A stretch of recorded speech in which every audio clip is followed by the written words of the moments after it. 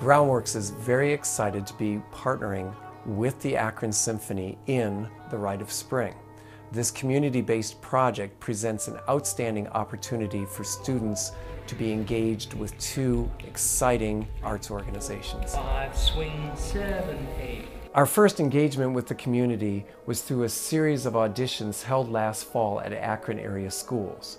We put together an ensemble of dancers ranging in grades from 5th through high school, and they will perform a substantial portion of this work on the stage at E.J. Thomas Hall. I go to Firestone High School and I'm in the dance program. The opportunity of being able to be in a company and the production and see how a dance is put together really interested me. Performing on E.J. Thomas with Groundworks and the Akron Symphony Orchestra is just such a great opportunity. I'm really excited. Seven, two, three.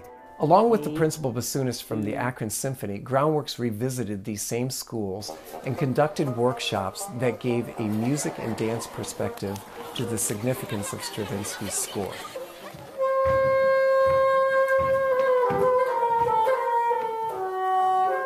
The most rewarding part of this whole process has been to see how a project, a community-based project such as this, can bring out the very best in aspiring young dancers.